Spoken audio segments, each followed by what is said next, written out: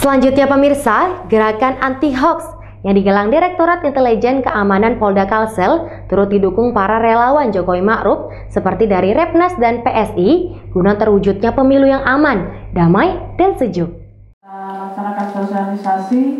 para pendukung pasangan calon presiden dan wakil presiden nomor urut 01 antusias mengikuti sosialisasi anti hoax dalam rangka pemilihan umum tahun 2019 gelaran Direktorat Intelijen Keamanan dari Kepolisian Daerah Kalimantan Selatan di Hotel Summer, Jalan Petran, Banjarmasin, belum lama tadi.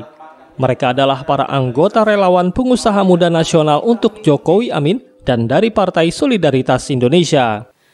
Kita berharap uh, dengan adanya program ini ke depannya masyarakat lebih bijak lagi memilah dari sisi kacamata mana yang terbaik karena berita-berita hoax itu uh, bisa karena ada beberapa faktor Salah satu faktornya adalah faktor ketidaktahuan, faktor kecemasan, dan juga faktor kepentingan. Nah, di sinilah faktor kepentingan uh, dalam rangka pilpres dan pileg ini kita harus menggarisbawahi. Nah, Repnas sendiri, um, saya menghimbau kepada seluruh anggota Repnas, utamanya di Kalimantan Selatan, untuk tidak um, ter, terpicu dan tidak terpengaruh dengan adanya berita-berita hoax. Kegiatan ini sangat positif sekali, di mana saat ini di media sosial banyak sekali hal-hal yang bersifat negatif dalam melaksanakan kampanye baik itu untuk pilpres dan pileg dan dengan adanya kegiatan ini dan dukungan dari pihak kepolisian mudah-mudahan eh, eh, kampanye yang kampanye yang black itu bisa terkurangi. Dalam sambutannya, Kepala Bagian Analis Dit Intel Kampolda Kalsel, Ajun Komisaris Besar Polisi Sutriyono, mengajak seluruh masyarakat untuk bersama menciptakan suasana kondusif menjelang hari pencoblosan guna suksesnya pemilu yang aman, damai, dan sejuk. Warga masyarakat Kalsel ini sudah sudah trauma dengan tragedi-tragedi yang tidak mengenakan dulu.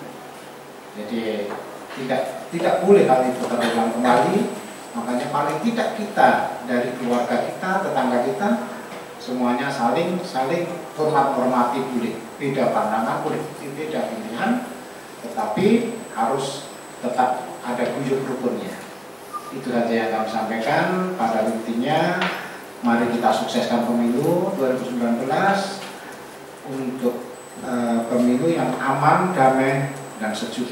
Di sosialisasi ini, para peserta diberikan banyak pemahaman terkait ciri-ciri berita hoax dan bagaimana mengantisipasinya, termasuk proses hukumnya, baik lewat sentra penegakan hukum terpadu atau Kakumdu untuk bidang politik dan lewat Direktorat Reserse Kriminal Khusus apabila terkait pidana. Ahmad Makfur, Banjar TV.